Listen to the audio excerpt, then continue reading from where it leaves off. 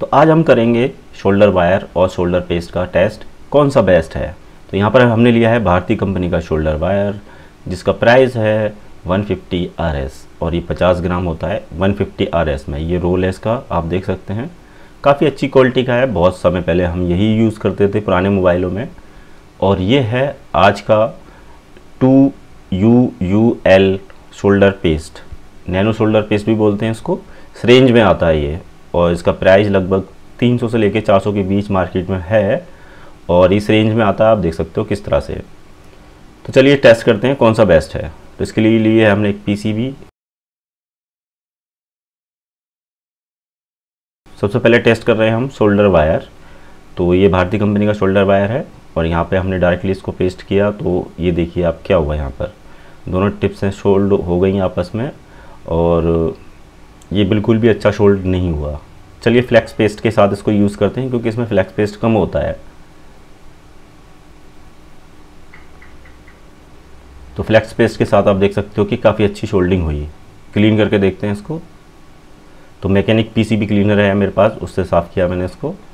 तो आप देख सकते हैं काफ़ी अच्छा शोल्डर पेस्ट हुआ है ये। तो अब टेस्ट करते हैं हम यहाँ पर solder paste two U U L one eighty three temperature है इसका, और हम इसको टेस्ट करने जा रहे हैं।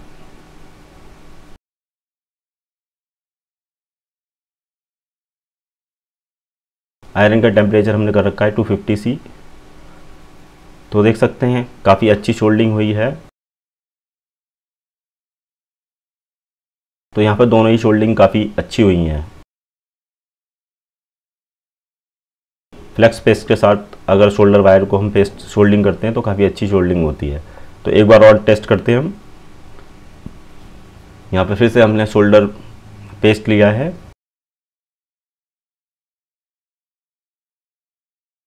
सरींज में जो होता है, ज़्यादा निकल आता है। तो आप देख सकते हो, काफ़ी ज़्यादा निकल आया था, लेकिन काफ़ी अच्छी शोल्डिंग हुई है इसकी।